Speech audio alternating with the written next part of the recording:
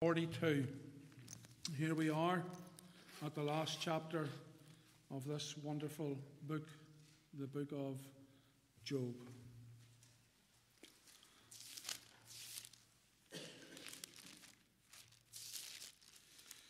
Job chapter 42.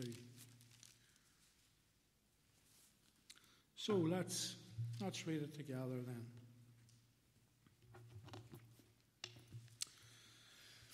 Then Job answered the Lord and said, I know that thou canst do everything, and that no thought can be withholden from thee. Who is he that hideth counsel without knowledge? Therefore have I uttered that I understood not, things too wonderful for me, things which I knew not. Here I beseech thee, and I will speak. I will demand of thee and declare thy unto me. I have heard of thee by the hearing of the ear, but now mine eye seeth thee. Wherefore I abhor myself and repent in dust and ashes. And it was so that after the Lord had spoken these words unto Job, the Lord said to Eliphaz the Temanite, My wrath is kindled against thee and against thy two friends. For ye have not spoken of me the thing that is right, as my servant Job hath. Therefore, take unto you now seven bullocks and seven rams, and go to my servant Job, and offer up for yourselves a burnt offering. And my servant Job shall pray for you, for him will I accept, lest I deal with you after your folly in that ye have not spoken of me the thing which is right, like my servant Job.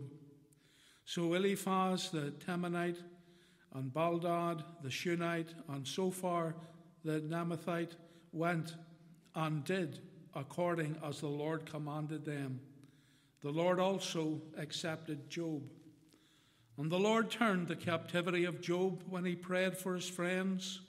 Also, the Lord gave Job twice as much as he had before. Then came there unto him all his brethren and all his sisters, and all they that had been of his acquaintance before, and did eat bread with him in his house. And they bemoaned him and comforted him over all the evil that the Lord had brought upon him. Every man also gave him a piece of money, and every one an earring of gold. So the Lord blessed the latter end of Job more than his beginning, for he had 14,000 sheep and 6,000 camels and a thousand yoke of oxen and a thousand she asses. He had also seven sons and three daughters. And he called the name of the first Jemima, and the name of the second Kezia, and the name of the third Keren-happuch and in all the land were no women found so fair as the daughters of Job, and their father gave them inheritance among their brethren. After this lived Job an hundred and forty years, and saw his sons and his sons' sons, even four generations. So Job died, being old and full of days. Amen. And we know the Lord will bless to us the reading of his precious precious word. The title of the message this evening that I've uh, felt just to pen was simply Job's restoration and Satan's ultimate defeat. Job's restoration and Satan's ultimate defeat. It's wonderful as Christians to have God's last chapter written for us, to encourage us in His Word as Christians, we have the Bible, something that Job never had. And as we read the Word of God and we read the revelation of John, uh, in, in the book of Revelation, there we have the last chapter, and we as believers know how it's going to end. We have that blessed privilege, but Job, he had no Bible. This man, just his faith in a just God, that's all he had. And when we think about that, it really encourages our hearts to see the depth and the strength of this man's faith, his faith in God, his trust in the living God. And we see here as we have uh, went through these various studies, I know the, the last one has come somewhat, there's been quite a gap from we did the last one. But when we look at this in light of what we have learned before, it's staggering and amazing uh, at what Job has come through, how God has brought him through, and what we have learned. And it's been a blessing to me as I have studied it, and I'm sure it's been a blessing to you if you've listened to the services and the messages. And so we want to look tonight at this closing chapter. You know, sure, you could take a year preaching on the book of Job and you still never would exhaust it. But we want to bring it to a conclusion this evening. And in verse 42, uh, verses 1 to 6, we have here Job's humble submission to God.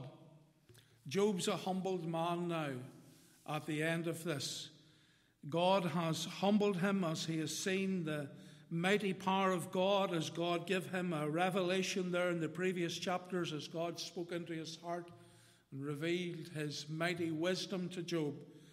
And it humbled Job, uh, humbled him so much that he said he, he repented in sackcloth and in ashes. That was an, an old uh, tradition of mourning, uh, mourning over his sin, and he humbled himself before his God. And that's one of the, the most important lessons. No man can come to Christ except he humble himself. No woman can come to Christ except they humble themselves under the mighty hand of God. And here we could even go in to the gospel tonight, even in this, these first six verses. So we see here uh, Job's submission to God, Job's repentance and submission of his pride and uh, of his rebellion. He, he had answers for God, and uh, whenever the Lord revealed himself, he realized that he was rebellious and had a proud heart. And you know, we're all like that. Uh, before we come to Christ, we were rebellious sinners with a proud heart before God, but God humbles us and deals with our pride. Verse 3, we see here Job's Job acknowledged God's ways are too deep for his understanding. He said that. Who is he that hideth counsel, verse 3, without knowledge? Therefore have I uttered that I understood not things too wonderful for me, which I knew not. We only think we have the answers. We only think we know. We think we're clever. We think we're smart. We think we know better than God. But we have no answers to the Almighty wisdom. Who can fathom the depths of the knowledge and of the wisdom of God? And Job had received that revelation. He said before, I have heard of thee with the hearing of the ears, but now I have seen thee. He got spiritual uh, eyesight. So, Job's declaration here of, of uh, God's majestic holiness and wisdom, verse 4 and 5, he says, Here I beseech thee and I will speak, I will demand of thee, and declare thou unto me. I have heard of thee by the hearing of the ear, but now mine eye seeth thee. Before he had an intellectual, if you like, understanding of spiritual matters, but now he has received heart revelation. He knows from deep experience uh, what he has went through. These lessons have, have taught Job so much and uh, made him a spiritual man. And here he acknowledges the, the majestic holiness and wisdom and might of Almighty God. He says indeed that I have uh, now seen thee, uh, now mine eye seeth thee. He received spiritual revelation, spiritual illumination and I believe as well spiritual information from God. Wonderful truths that this man, Job, had received from the Lord. And as a result of seeing the glory of God and the revelation that he received, he realized that he was just mere dust in the sight of a holy God. You know, sometimes we think we are something, we think we are somebody's. uh, you know, in light of others. But this man, Job, he realized in the eyes of God he was nothing. And uh, absolutely nothing, and that God is everything. So, the next thing we want to see here is God's wrath is kindled against the three friends for the words of judgment that were not true. Now, all the book, all the book of Job and the deliberations from his four friends, there's only three of them mentioned here. It wasn't that all that they spoke was not true, but these men were looking at Job's situation from a human viewpoint and not from God's, and that was the problem. They were trying to understand it from human viewpoint, and we looked at that, and they don't understand the deep things or the deep ways of God. And that's a danger for us uh, to make judgments when we don't know all the facts as God knows, and we can get it wrong. And so God is coming now with a glorious vindication for Job.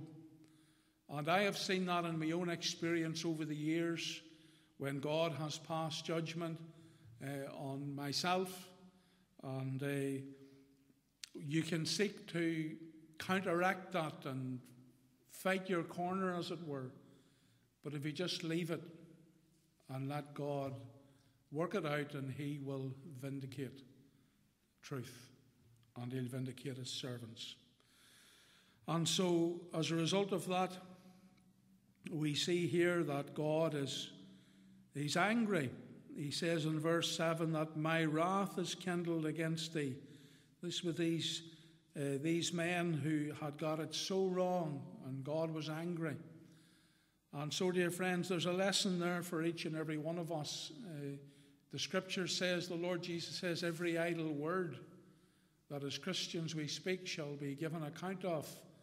If it's not repented of, we, we'll give an account of that. God records our life as believers and what we say. He's, as the little text says, He's the, the silent guest at the table, the unseen guest. He's there, He's listening, He's recording. And so God's angry. But we see here the privilege of Job's position.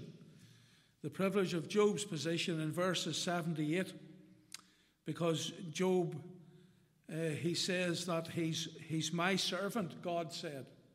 Four times in these two verses, God is vindicating Job. He says he's my servant in spite of his feelings, in spite of the things that he, that he said under severe satanic pressure and uh, persecution and affliction.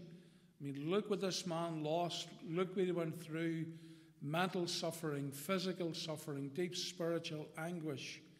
And he said things in there that, that just weren't true, but God didn't deny him. God didn't forsake him. God didn't leave him. God still acknowledged he's my servant. And that takes us right back to the opening verses in Job where he said to Satan, Have you considered my servant Job? There's none like him in all the earth. And when Job was in his, his darkest hour and in his deepest darkness, he was still God's servant. Even though he didn't feel it, even though he couldn't sense it, even though he couldn't understand it, he was still God's servant. That's a tremendous encouragement for you and I tonight. That whatever situation we're in as children of God, we're still his servants. That's a blessing. And then the New Testament, the Lord Jesus in John 15 takes us a little bit further. He calls us friends. Isn't that marvelous?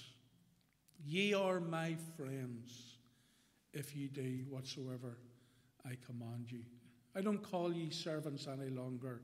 I call you friends. What an intimate relationship that God has brought us into. So that's the privilege of Job's position. He was still God's servant, and he's still God's friend. And then we see also the power of Job's prayers. The power of Job's prayers. In verse 8, he had uh, commanded these three men what they were to do. They were to take uh, seven bullocks and seven rams and go to my servant Job and offer up for yourselves a burnt offering, and my servant Job shall pray for you. There we see the power of Job's prayers. Wouldn't it be wonderful to have a man like that praying for you? What a blessing to have your name on Job's prayer list, to know that Job was praying for you. Uh, I have had many godly people who have put me on their prayer list and prayed for Mandy and I and our family for years, and they're in the glory tonight. They're with Christ, which is far better. And that's one thing I miss uh, is the prayers of those dear saints of God. But the Lord has been pleased to answer and been pleased to bless. Job shall pray for you, for him I will accept. Is not lovely? For him will I accept. But tonight, we have a greater one than Job praying for us. We have the Son of God, the Lord Jesus.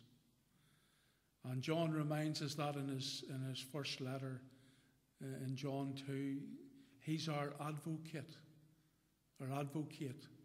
He's, he's our great high priest. He's the one that sits at the Father's right hand and prays for us. Prays for you and prays for me to the Father. Isn't that awesome? The sinless one, the spotless one, the holy one, the only begotten one, praying for you and for me. What would he be praying for? Well, that our faith fail not, as he did for Peter. That's one of the things. Amongst the many, praise God tonight, we have a greater than Job praying for you and for me.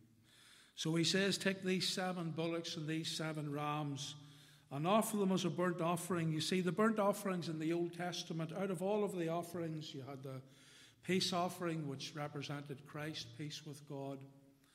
But the burnt offering was a free will offering. And the burnt offering, the whole offering was placed on the altar of sacrifice, which is a picture of the consecration of the believer, the total giving over of oneself to God. And when that sacrifice is on the altar, every part, every piece, nothing held back, the fire of God comes. Not on the altar, but on the sacrifice. And that's a picture of total consecration. So uh, these men were totally yielding to the perfect will of God and giving themselves wholly over.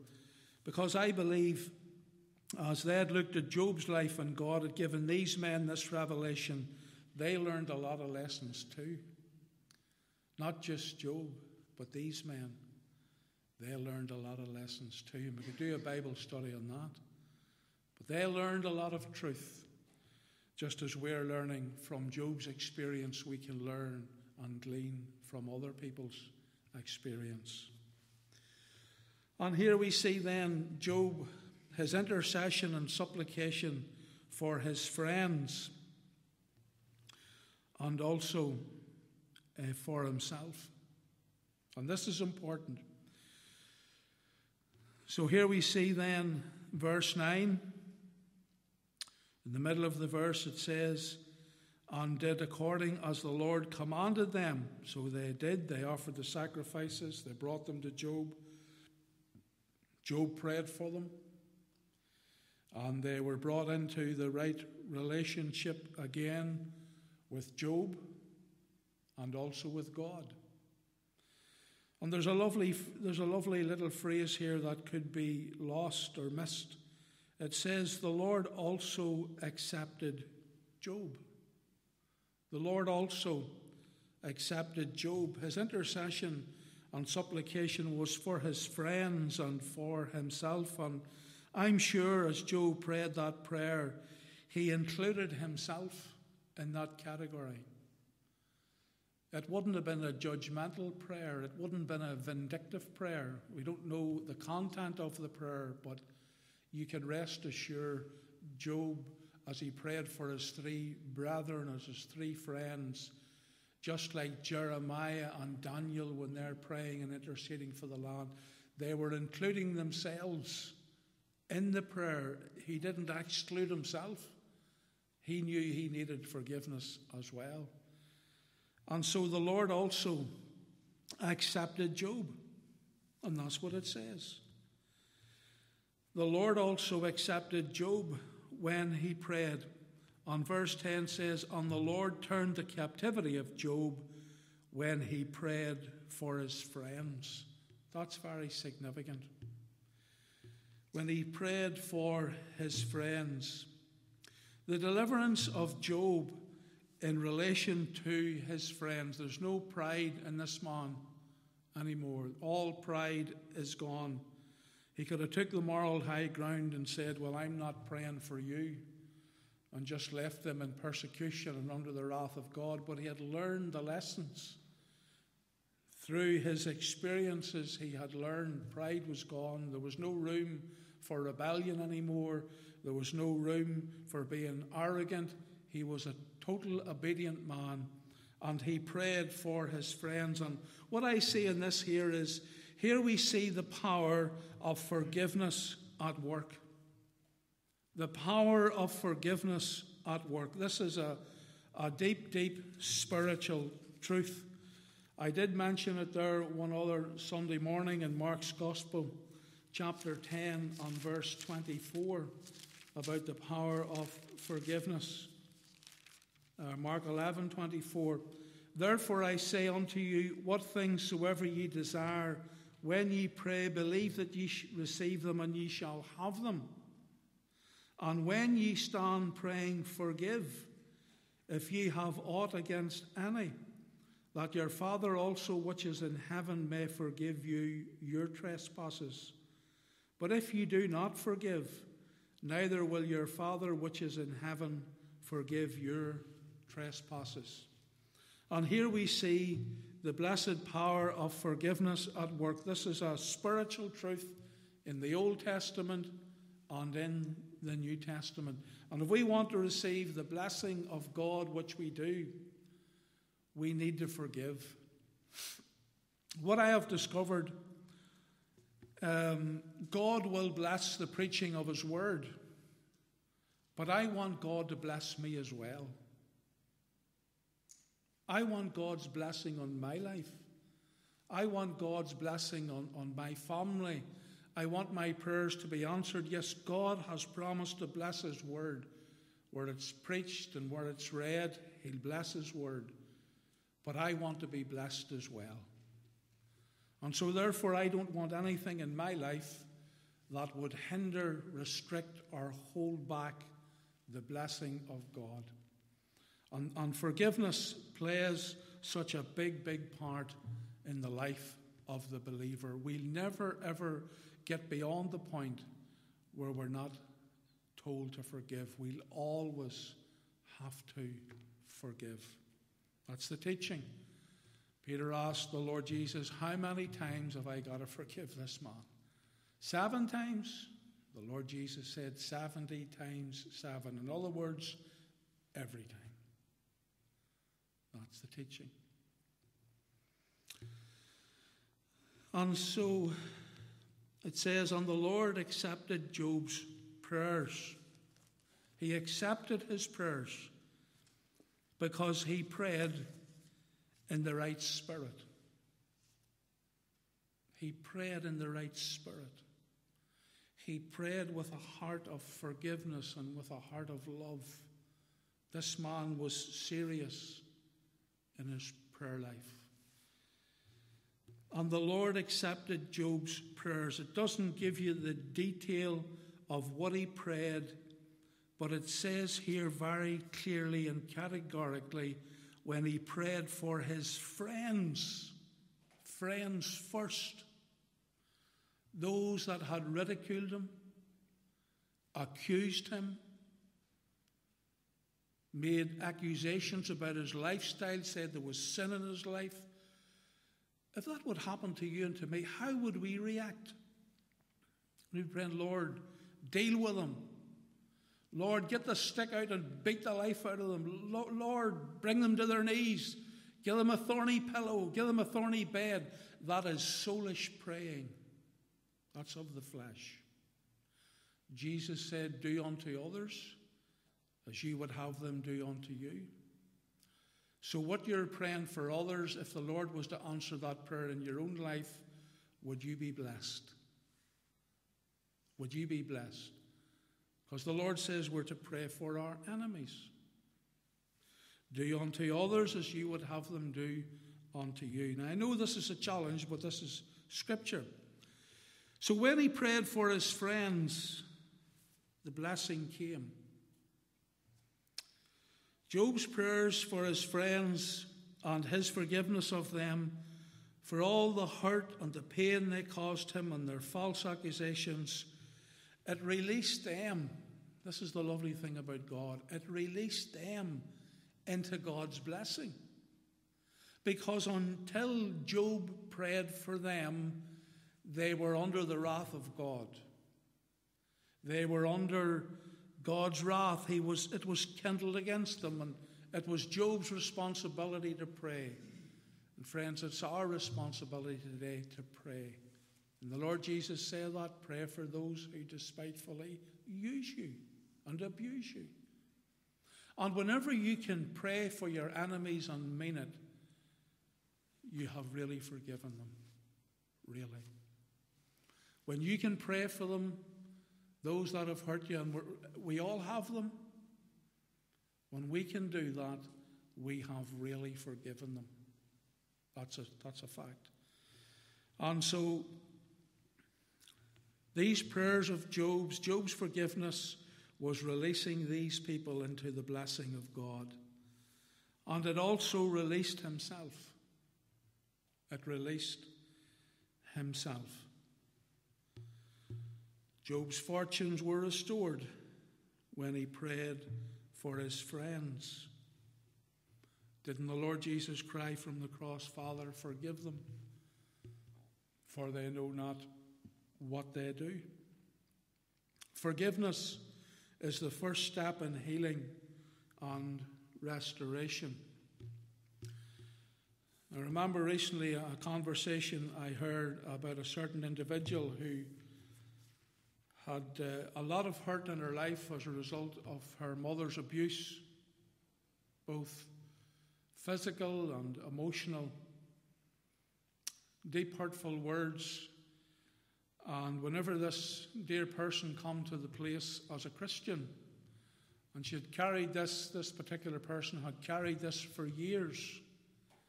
And whenever they came to the place where they forgive, and released them and got that prayer out. Uh, the first thing that happened was they ran to the toilet and were violently sick, and all this old green bile of bitterness come out. Green bile of bitterness and unforgiveness was poured out into the toilet pot where it belonged. And that individual was released and brought into a wonderful, vibrant, loving relationship with God. That's a fact. Because this unforgiveness is a green bile bitterness that'll destroy your soul. But when we deal with it, it releases God's blessing. Unable to pray for them, God bless them as you're blessing me. Do you know how I prayed for those who, who hurt me in my wilderness experience? I prayed, Lord, will you bless them more than you're blessing me? That's how I dealt with it and I, that released me. I have nothing in my heart against one soul. The only person I hate with a vengeance is the devil. And other than that, not another soul. So the deliverance of Job in relation to himself, he forgave them. There's a lesson for every Christian. But thank God here from verses uh, 10 to verses 17, there's the end of the season of suffering and sifting. Praise the Lord. Maybe I should do a leap over the pulpit. thank God there's the end of the season. There's seasons in life with God. We, we looked at that, didn't we? And this season for Job had come to an end. After the darkness comes light. After death comes resurrection. And here's Job's resurrection. He's coming out now. This season is over. This chapter is now closed.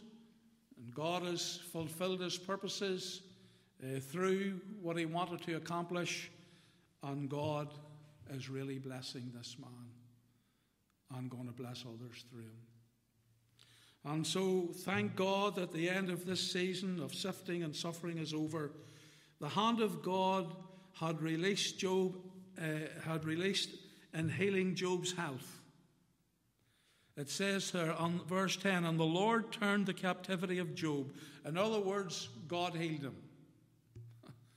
God healed Job. He permitted Satan to afflict him. God has the hedge around each and every one of us. Whatever comes into our lives, God permits, and God allowed that to happen. But when it's, when it's the final moment, God says, That's it. And He comes, the Son of Righteousness shall arise, says Micah, with healing in His wings. God heals. God's time had come. God touches. He healed Job. He touched him. The hand of God hath touched him. What a, what a wonderful phrase. The hand of God, speaking of the almighty, omnipotent power of God. Remember when Queen Elizabeth, the coronation, when she's uh, receiving the crown to reign, and she holds the golden orb in her hands. Well, that's just, if you like, a picture of God. He's in control of all things. We're in His almighty hands.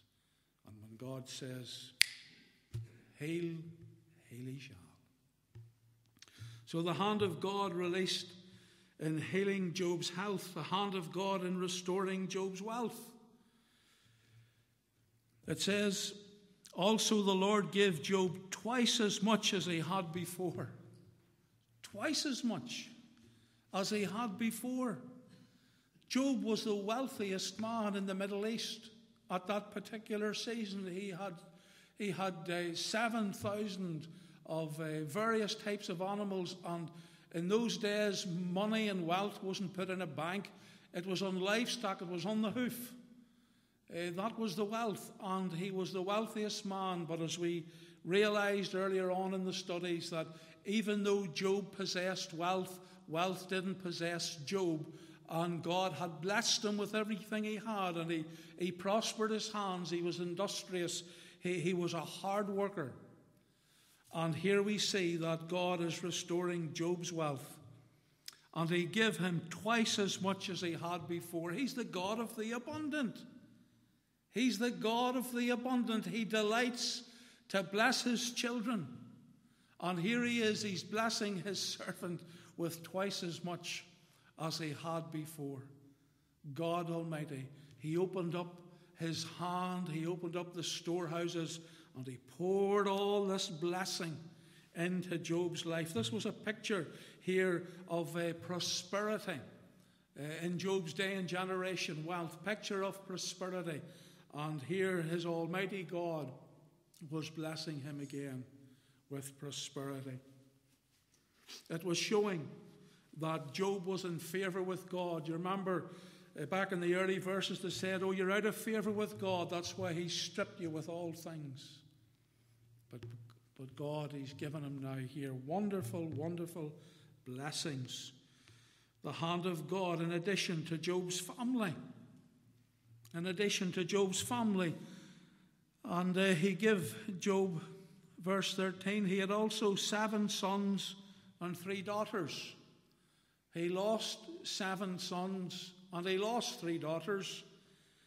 And everything else, he gave him twice as much as he had. Verse 12, uh, he has 14,000 sheep, he has 6,000 camels, and he has a thousand yoke of oxen and a thousand she asses or donkeys. But prior to that, he had just a half of them. But when it comes to his children, he didn't give him 14 sons and six daughters. The reason is because those seven sons and those three daughters are in heaven, they're in the glory. And so he gives them another seven and another three, so he does have twice as much. Hallelujah. he does have twice as much. So he, he's 14 children, direct descendants, and six daughters. That's 20. God's no man's debtor. And there's a little spiritual truth in there, isn't there, that, that the soul goes to be with Christ, which is far better. And Job said that he would see them at the latter end, the end of days. So he's adding to Job's family and the hand of God in giving to Job the double portion. The double portion. He gave him twice as much as he had before. The double portion. Isn't it wonderful to have that blessing on your life? The blessing of God's double portion. And that's what the Lord gave to Job. He gave him the double portion on the hand of God in restoring relationships, verse 11. And we see there the harmony and unity. It says, these is lovely verses. There came there unto him all his brethren and all his sisters. That's his family, his immediate family and relations. There's restoration. And all they that had been of his acquaintance before, his friends, those that were uh, associated with him, and look at this. And did eat bread with him in his house. There's fellowship restored, friendships restored. And they bemoaned him and comforted him. And that word bemoaned means consoled. They consoled him, they encouraged him, they put their arm around him. This maybe said, Job, I, I thought you were finished. I thought it was all over for you. I never seen a man as miserable. I never seen a man as afflicted in all my life. They consoled him. Job, I can hardly believe uh, what, what your faith in God has done. You're a stalwart, you're, you're, you're an inspiration uh, to your God. And they bemoaned him, they consoled him, and comforted him over all the evil that the Lord had brought upon him. Every man also give him a piece of money. There we see their generosity towards him. They give him of their substance, they give him a bit of money. Yes, it's one thing. It's lovely when you can put your arm around someone, but sometimes they need a wee bit more than that. William Booth says it's no good preaching to men cold feet and empty bellies. And he did a little bit more than put the arm round. He fed their souls, made them welcome. And God blessed that. And every one an earring of gold.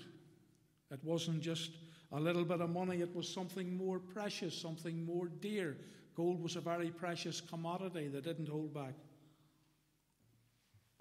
And they were very liberal in their giving to Job. And I believe that God had stirred their hearts, and this was one of the ways that God was going to restore uh, Job's wealth to him through the blessings of his friends. You know, it's more blessed to give than to receive. We had our friend here uh, last Wednesday evening, and by the grace of God, he left with over £500 uh, for, the, for to further this work. It's not marvellous that we can help to propagate and to share the love of God and the gospel of the Lord Jesus uh, with the Jewish people who blessed us with God's precious word and God's wonderful Messiah. They give their gold, They give their best to, to this man, Job. And it says, In all the land were no women found so fair as the daughters of Job. And the first name of the one there is Jemima. Jemima. Jemima means in Hebrew a dove, symbolical of the blessed Holy Spirit. There's nothing more beautiful than the spirit of the dove in the life of the believer. And it says his daughters uh, that there was no women in all the land so fair or beautiful as the daughters of Job. And their father gave them inheritance among their brethren. There you see the generosity of Job's heart. He didn't make a difference in the children. It was only in the Old Testament law in relation to uh, firstborn rights, if there was no sons left, then the daughters got the sons' inheritance.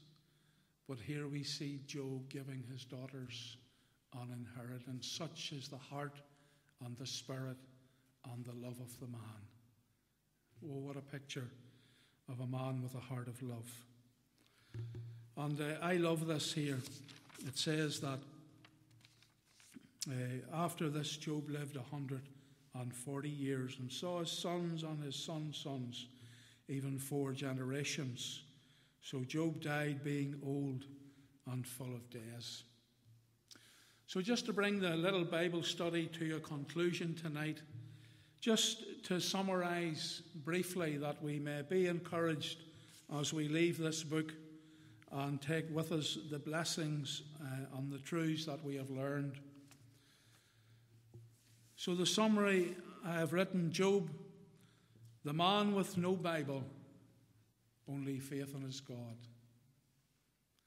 The man with no Bible, only faith in his God. Job, the man God used to bless multitudes through his life. One man, Job, and how the book of Job has blessed the church of Jesus Christ. One man, how God used this one man to bless multitudes, multitudes through his life. He doesn't know, he didn't know what he was doing or how God was going to bless him uh, through his sufferings. But if Job wouldn't have went through this experience, if we didn't have the book of Job in the Bible, how would we ever make sense of it? How would we ever make sense of being a Christian? How would we ever make sense of our trials, of our troubles, of our tribulations, of our. How would we ever make sense of it if we didn't have the book of Job? Job, the man who trusted God at all times, he could do no other. One of the most blessed verses is that glorious verse, though he slay me, yet will I trust him. That's blind, naked faith when you have nothing else, only your hope in God. Though he slay me, yet will I trust him. Job, the man who proved God to be faithful and true, and he is. And Job proved the Lord that God is faithful and that God is true.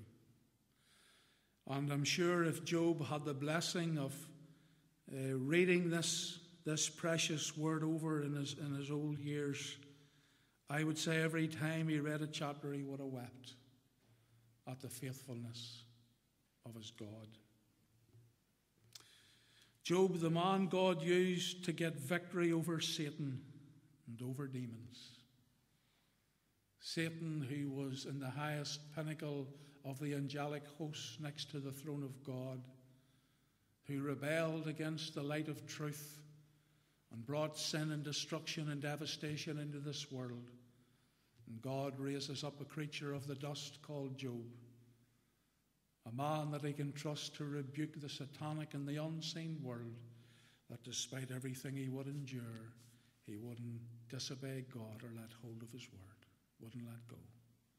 What a rebuke to Satan and the powers of darkness. And that encourages you and me tonight that when the assaults of the enemy and the billows uh, of Satan's wrath would seek to come upon us, that we too, like Job, we can hold on to the God we have not seen by eye, but we know by faith. And we can hold on to his promises, which Job didn't have. And we know that our God's real. Job, the man God molded through adversity, trials, and tribulations, what a sweet saint he was. A molded man. We spoke on Sunday morning about the clay. My, look what God had to do with Job on the potter's wheel. What a vessel he made. What a vessel God made when he, he took him off the wheel and put him in the furnace of affliction and fired him three times to make him hard and to make him a useful vessel. What a vessel. What a vessel Job was. The man who had to be molded through adversity, trials, and tribulation, the tears that he shed and the suffering that he endured. But he was a vessel unto honor, a mighty man of God. Job, the man whom God could trust through suffering. God can trust many of his people through good days, but can he trust us through suffering? Can he trust us in the tough times of life, in the difficult times of life? Can he trust us? But he could trust this man through suffering. The man whom God could use to fulfill his plan. God had a plan for Job, and God knew ere he ever give Satan permission to afflict him, that his plan, God's plan, would be fulfilled. That's an encouragement for you and I tonight. God knows what we can endure God knows the plan for our life. He knows all about what's coming down the road. God has the plan. And if we hold on, He'll fulfill that. Job, the man of integrity in the midst of adversity, he never lost his integrity. His wife says, Curse God and die. I can take no more. I'm going. I've had enough. I'm finished. That's, that's it over for me. I'm going. But Job held on. He was a man of integrity in the face of adversity. That's some testimony. And Job, the man God used to reveal God's ways and God's love.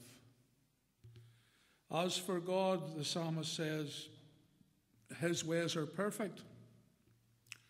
It doesn't say they're painless. That's for sure. But whatever ways they are, his ways are perfect. Mysterious at times, difficult at times, trying at times, painful at times, but perfect. God knows what he's doing. And as we have the book of Job, we have the blessing of the last chapter. That's awesome. So, this book of Job, the man of God that gives me encouragement and helps me to make sense of suffering and trials in a measure. I don't understand it, stand it all, but in a measure, it gives me a limited understanding uh, as a believer of something of the journey uh, that the Lord has brought us on. And it's great to know that whatever God brings into your life, whatever He permits, He has a purpose and a plan through it all. And finally, my closing words are this In verse 16, I love this wee phrase, after this. Isn't that lovely? After this. Here we have a little glimpse into glory. Little glimpse of heaven. Because there's an after this.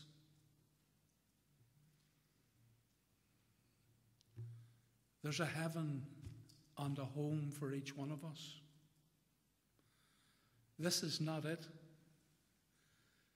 We're still in the chapters. But when it comes to the last page of our lives, when it comes to the last chapter, when it comes to the last line, when it comes to the last words, there's an after this heaven, home, eternity. This time of testing, sifting, and suffering is over when we get to heaven. It'll be worth it all. Be worth it all. Everything we endured. After this, Job lived a hundred and forty years. His days are multiplied. He was about 70 when these trials came. And God added another 140 years. Do you see the double again? And 70 and 140 equals 210 years he lived. And Job died an old man full of days. Wouldn't it be wonderful to go round to Grandpa Job's house? Granda, tell us about the good old days. Tell us about the good old days. Ah, son, our God's real. The Word of God says, Tell it to your children's children. What a sweet saint he would have been to sit with. What counsel he could have give you. What wisdom would have flowed from his pure lips. What joy would have been in his heart. What experiences he could have shared. Oh, he knew the love and the presence and the deliverance of God. He enjoyed the blessing of God that maketh rich and addeth no sorrow thereto. And he died being old and full of days. And when he died, he went home to be with the Ancient of Days. And that's our destination too when it's over, when this old mortal frame and uh, gives up the ghost, we're going to be with Jesus, going to be with Christ, which is far better. And we'll be able in the glory to have conversations with Job and hear from his lips how he proved the Lord, his God. And may that be our encouragement in this our day and in our generation. May Job's life be our encouragement to prove God in our day. Let us pray.